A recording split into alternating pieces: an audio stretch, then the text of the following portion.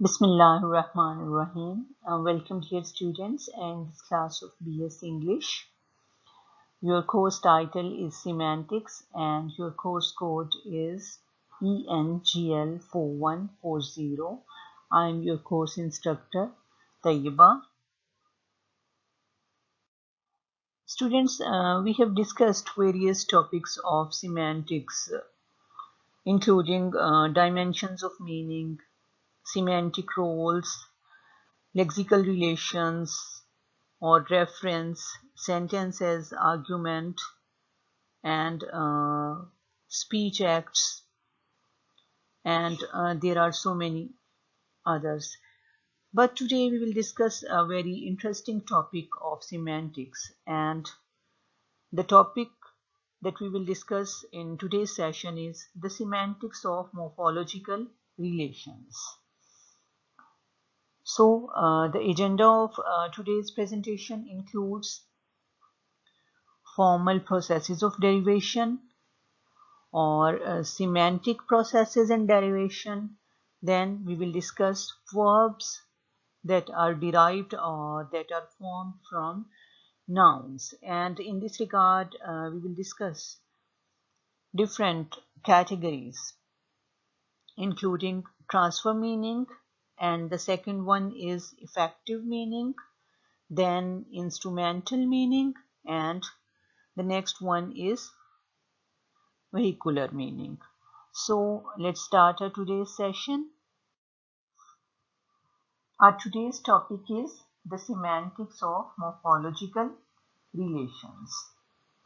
Students have you ever noticed that the adjective long and the noun length and the verb lengthen. They are partly similar or alike and at the same time they are partly different in form, the way they sound and the way they are written and partly alike and partly different in meaning. Okay, if we take long as the one that has the simplest form, then we can say that the noun and the verb are derived from the adjective by certain processes. The noun length. The noun length, it is derived from the adjective long. So what is the addition? The addition of th and a change or mutation of o or to e. And the verb lengthen. How the verb lengthen is formed? The verb lengthen is formed by another addition. And what is that addition? That is en. So these formal processes, we can say they are fairly easy to describe. But semantic relations are more subtle. The noun length, we can say it is an abstract term, means the amount or extent by which something is considered long. We may say sometimes the length of a room the length of a day.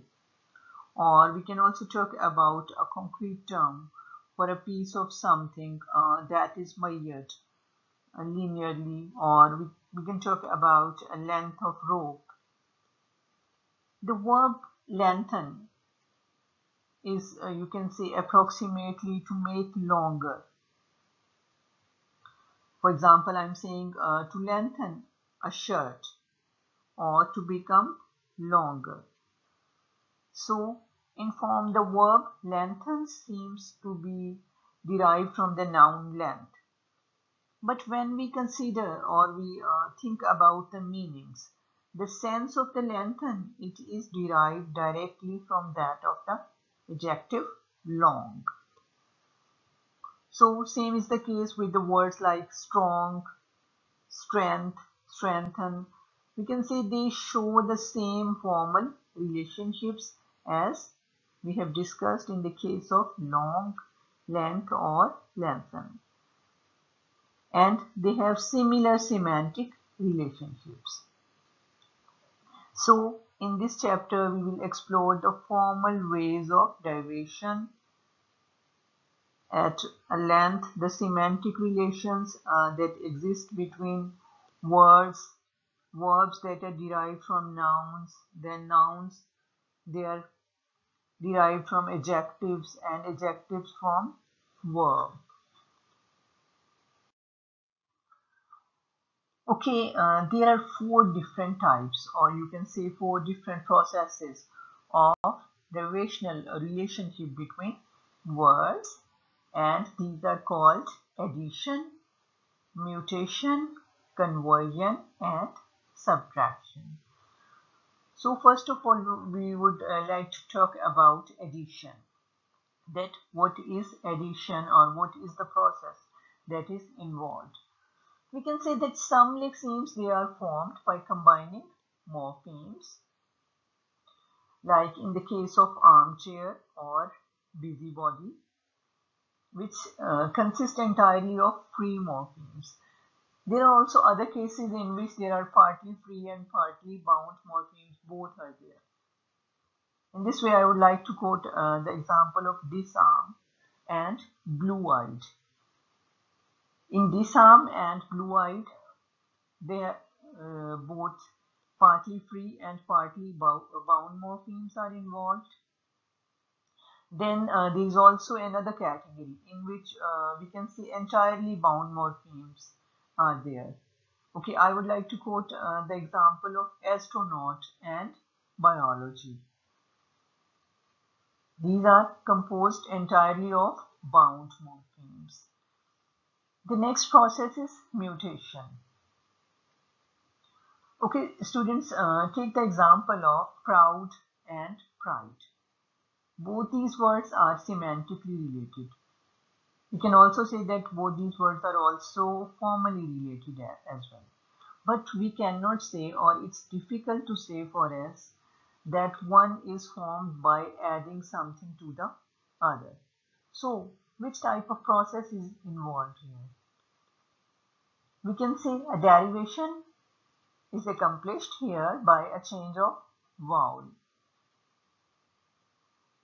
So there are also other examples. In those examples, instead of the change of vowel, the change of consonant, it can also be in the process of mutation. For example, if I'm saying believe and believe. So there is a change of consonant. There are also other examples in which both vowels and both consonants are involved. And sometimes there is also a change of stress. Okay, take the two words choice and choose. Now, in this example, there is a change of both vowel and consonant. The third category or the, you can say third formal way of derivation is conversion or zero change. This is so uh, simple change of a word of one class to a word of another class and there is no formal alteration, no formal change. We can say, for example, clean, dry and equal. They are adjectives and they are also being used as verbs. So, the relation of adjective clean and to the verb clean is similar as we have already discussed in the case of adjective long to the verb lengthen. Fan, hammer are also verbs and these words are also used as nouns. Then capital, initial and periodical they are also nouns and also adjectives as well. Now I would like to uh, discuss uh, the third category or process of derivation that is subtraction and it's also called as reduction. It means when we are removing the parts of certain lexemes. We are removing the parts of certain lexemes to form new lexemes. And uh, one kind of such shortening is called acronym. There is also another type that is called clipping. So first of all, we'll talk about acronym. Acronyms or acronym is a word that is derived from the written form of a construction. And students, that construction is a sequence of words. And these sequence of words, they together have a meaning. and uh, some acronyms uh, you people have heard in your daily life as a sequence of uh, letters as in the case of UK. UK is the acronym of United Kingdom. Then uh, most common USA, USA for United States of America. And in other acronyms, the letters combine to produce something uh, that is pronounceable as in the case of AIDS. As you know that AIDS is for acquired immune deficiency syndrome. Then uh, we can talk about UNESCO. UNESCO stands for United Nations Educational, Scientific and Cultural Organization. As these uh, examples they illustrate that the acronym is typically, but it's not always the case, that these acronyms are formed from the first letter of each written words.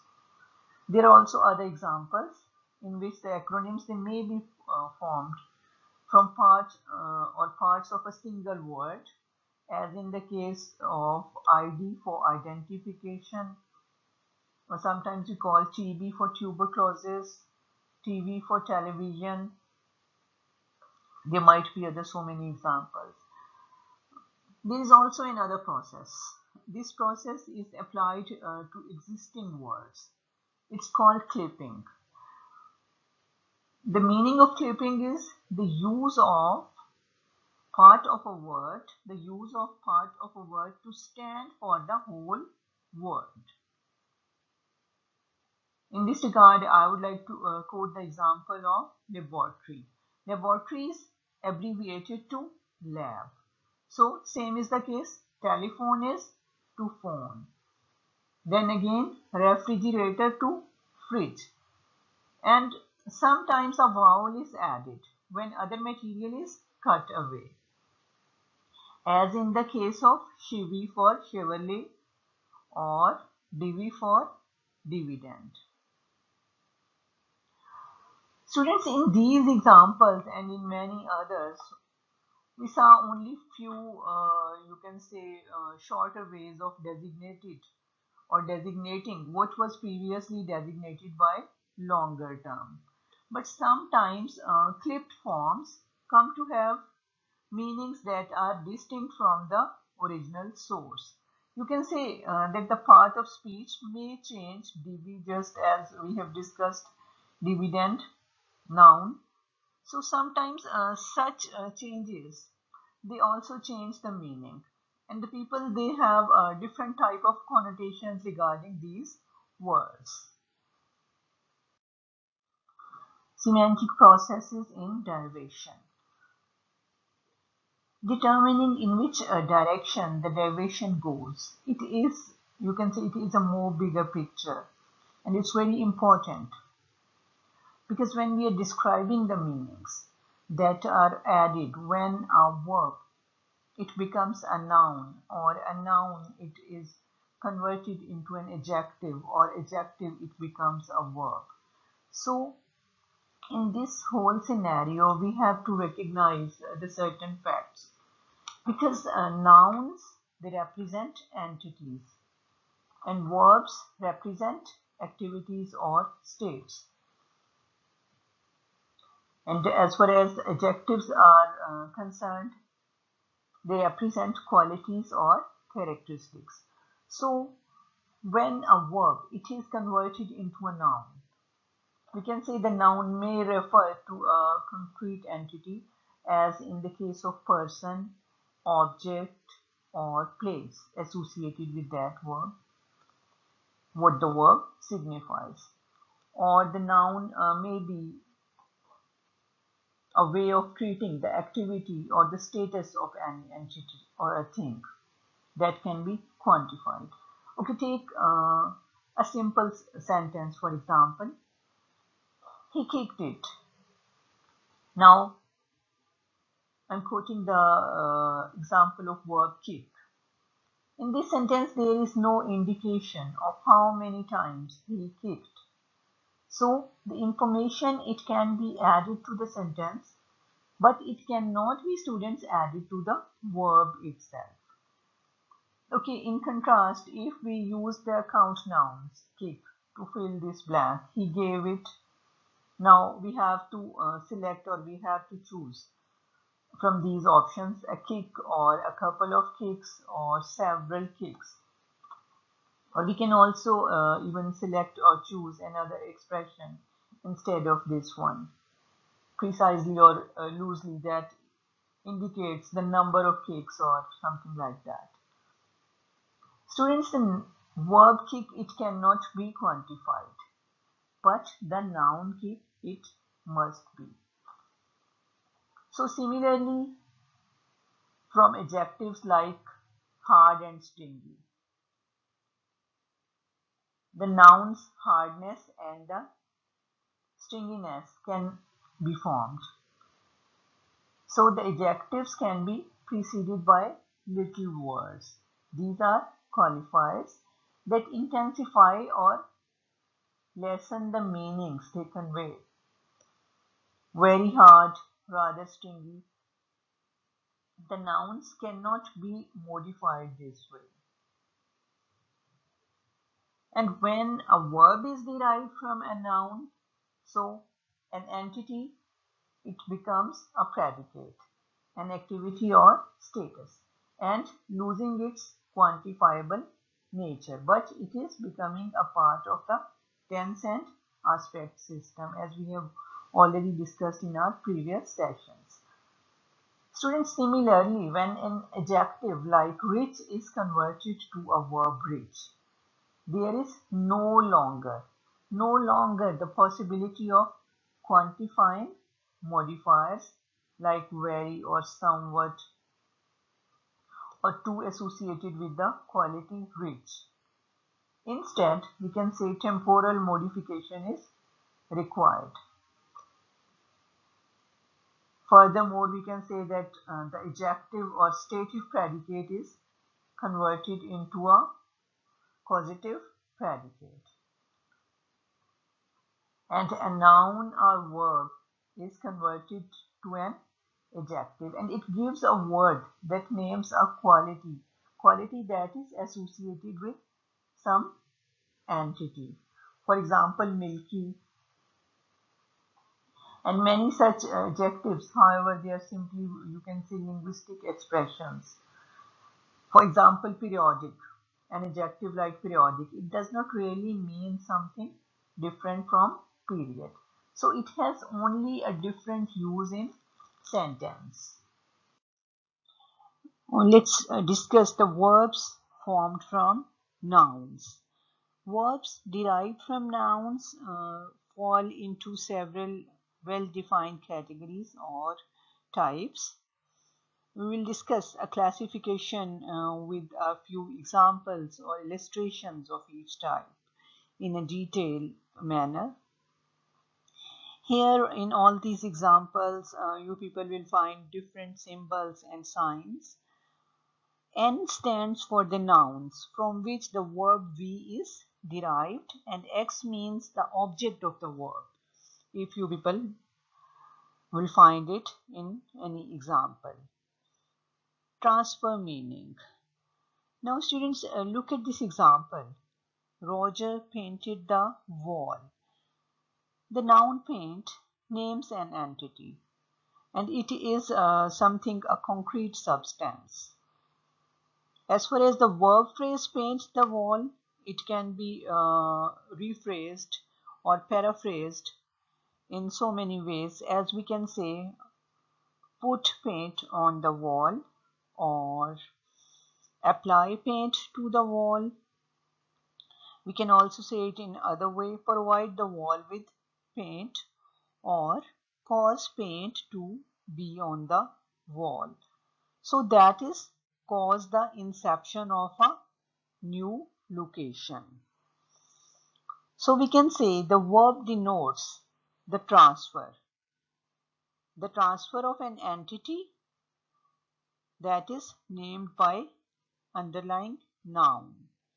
And which is that noun? Paint and the object of the verb the wall is a location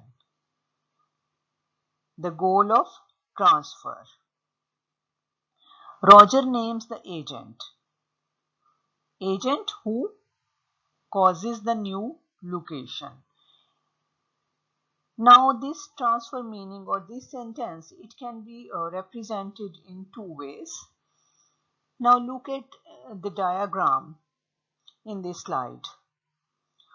Roger paint wall.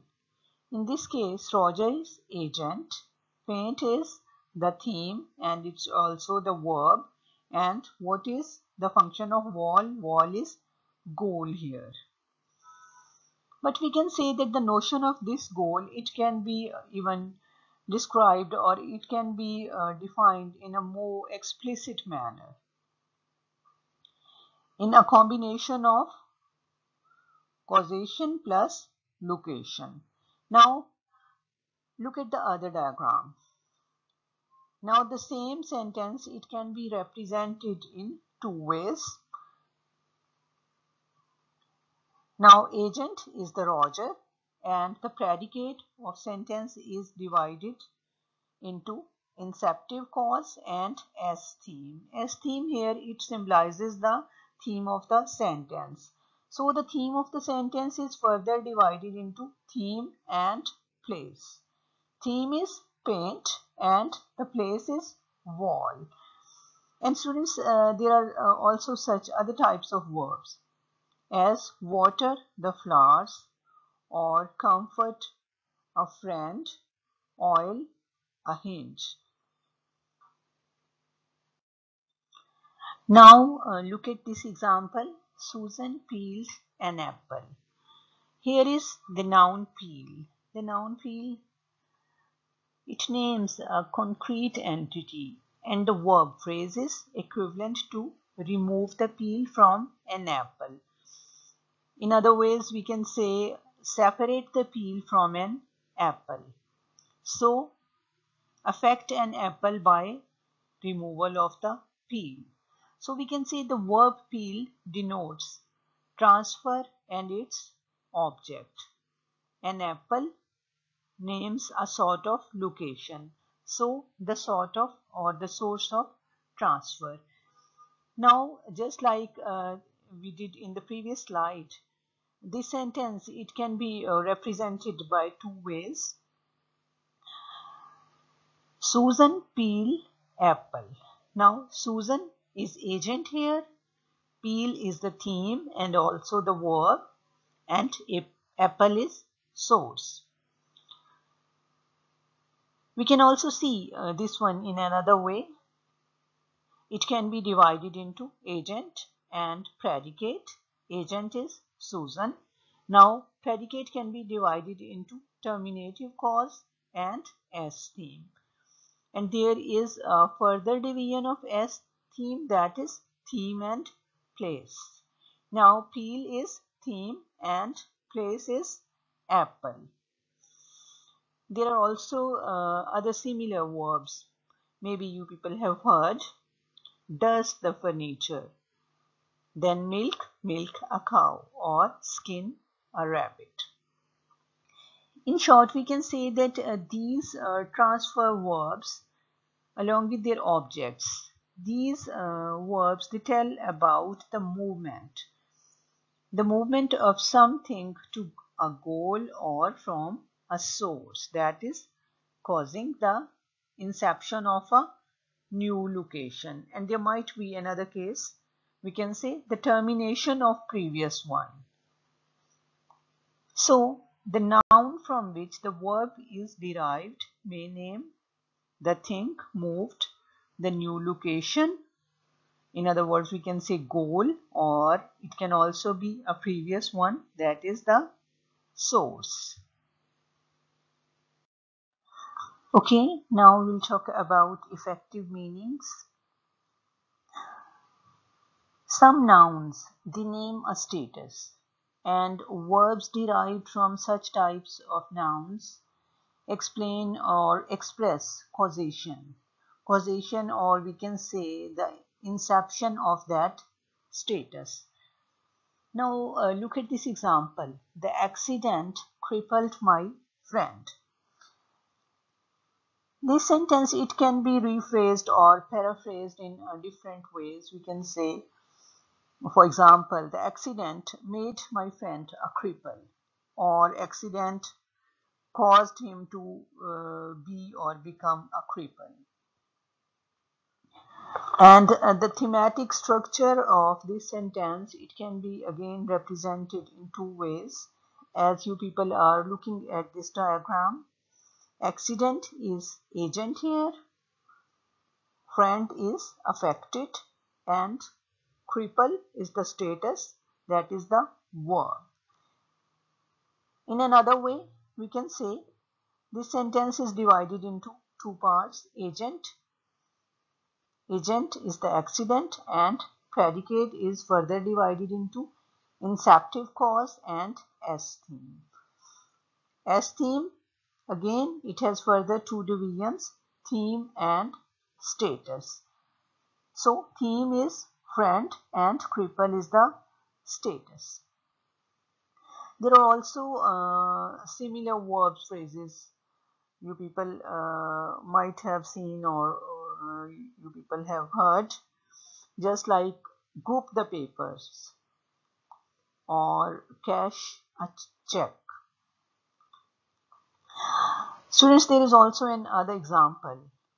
She babies her husband it means that makes him like a baby so we can say in this uh, sentence or this sentence uh, tells us about a pseudo effect what is the meaning of to baby someone? It means to baby someone is to treat uh, any person like a baby or a child.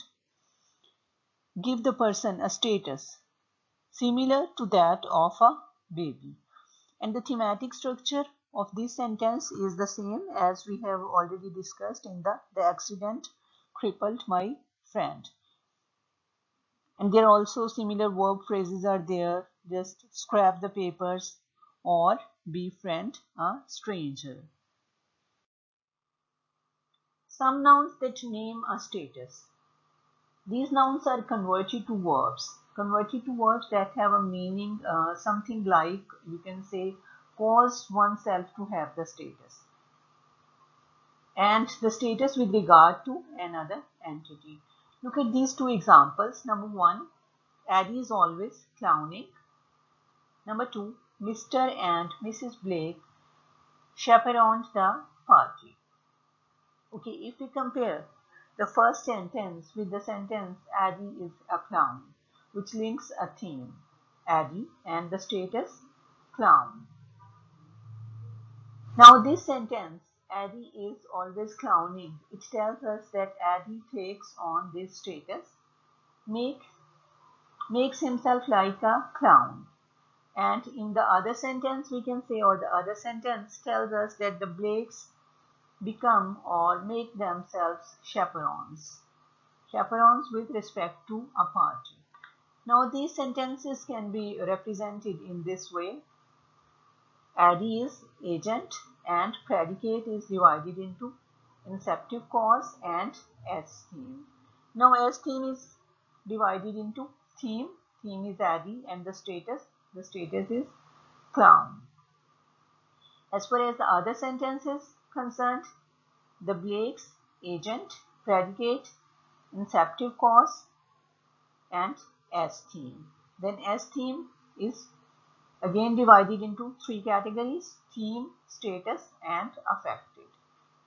Theme, Blake's status, chaperone, and affected. Which one is affected? The party is affected.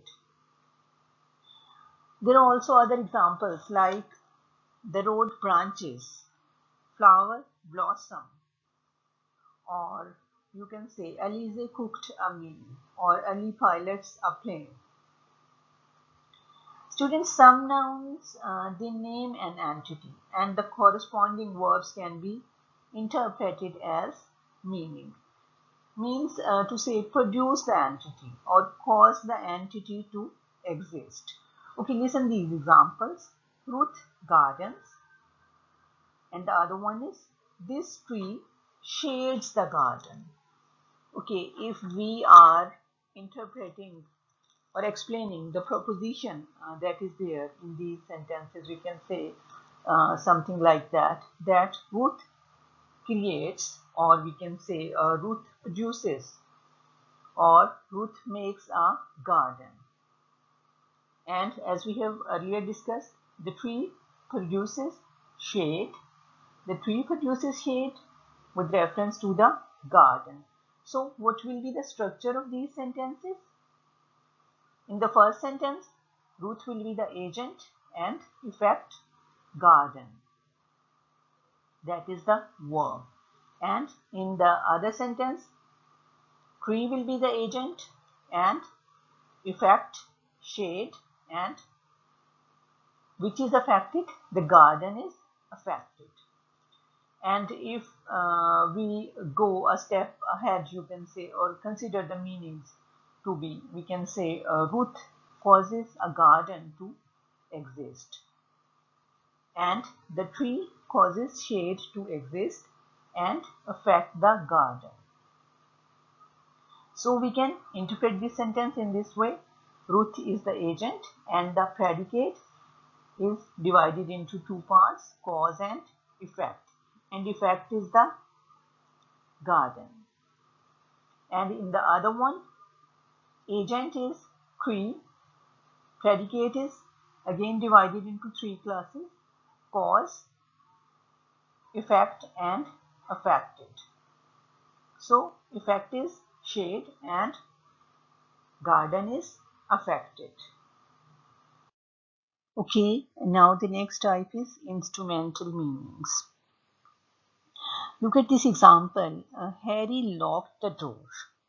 The noun lock names a kind of object, a useful object or an instrument. And a verb derived from such a noun indicates the use of that object with regard to some entity named by the object of the verb. Thus we can say lock the door means use the lock. Use the lock with regard to the door or with respect to the door. Affect the door by means of lock. Now it can be represented or illustrated uh, in this way as you people can see in this diagram. Harry is agent what is affected door is affected and lock means verb here and uh, similar uh, verbs appear in other expressions like uh, we can say button a coat or comb and brush one's hair or hammer a nail and uh, just uh, just to bring out more clearly the no notion of the causation we can say Harry caused the door to be affected by the lock. So, it can be uh, uh, described through this structure. Again, we can divide it into two parts, agent and predicate. Harry is agent and predicate is further divided into cause and as theme or sentence theme. Then as theme is further divided as affected. Which one is affected? Obviously door is affected and affecting means lock. There is also another example. Lucy penned a note. Now here is noun pen that is being used as an instrument that names a useful object or an instrument and the verb pen means use n to produce. Then what is this n? n stands for the noun from which the verb is derived. So the verb pen means use n to produce effect cause x and effect x by means of n. It can be represented by this way. Lucy is agent, effect is note and pen means is used as a means that is a verb. But uh, we can say that this type of instrumental meanings, it is uh, not very common. There is also another example, perhaps we can say voice. Voice and opinion is another example of this type of instrumental meanings. Now we'll discuss vehicular meanings. We can say it is a special kind of instrument or a special kind of instrument is a vehicle or a means for going and coming or you can say uh, for moving some entity from one place to another. For example, Sandra is skating from here to the corner. The company is trucking ore from mine to the factory. Now, in these two sentences, the verb skate is more or less, you can say, equivalent to move. Move oneself on skates. And the truck can mean move something by truck. Other verbs uh, that are derived from nouns uh, which name instruments of, of moving, uh, they can be a bicycle, a bus, a parachute as well. So we can say this sentence or uh, both these sentences express transfer or you can say causing an entity, Sandra or O to change from one location to another. Now uh, I would like to summarize uh, the classification of all these verbs uh, that we have uh, discussed that have been derived uh, from nouns. So first of all uh, we will discuss transfer. So paint, paint verb names. It means the thing transferred or object names the goal. And the second one is peel. Peel is the thing transferred and the object names the source. Then the category C bottle. Bottle is the goal. And what is the object or what is the name of the object the name of the object is the thing transferred then the next one is mine. What is mine? It is the source. And in the object, it is the thing transferred. Now we'll discuss the next category that is effect. Number one is or A is cripple or verb names a status effect. Then what is object? Object is or the name of object is the entity affected. The next is baby. Baby as we have discussed in the example baby is a pseudo effect and object name is the entity affected. Then the next category as we have discussed in the example clown. Clown in the verb names you can say an assumed role status. Then the next is chaperone. Again it's the same and the object name is the entity affected. Then we have discussed two examples. Two examples garden and shade. So the garden is the verb name the thing produced and the object names the entity affected. In the third category is means lock. What is lock? Verb names the instrument and the object the affected. Then the next category is pen. Pen is in the verb names the instrument and object names the effect. The other one is vehicle, skate, the vehicle or object, subject moves self. Then the next vehicle is truck. Verb names the vehicle and the object names the thing moved. You can say uh, a word may fit more than one category because it has more than one sense. To bone means to stiffen by inserting bone and also to remove bones. From similarly to dust is to apply dust to or to remove dust from. But a word may fit more than one of the categories because there is more than one way of considering the means. To hammer a nail or to pump water means using the objects named or they mean to do something as if using hammer or pump to hammer with a rock.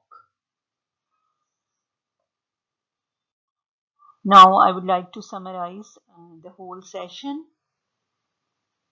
Students in many languages, including English language, uh, lexical items of different or various classes. All these items, they show formal as well as you can say semantic relationships. But we say that the forms which are more complex or which are more intricate formally or semantically.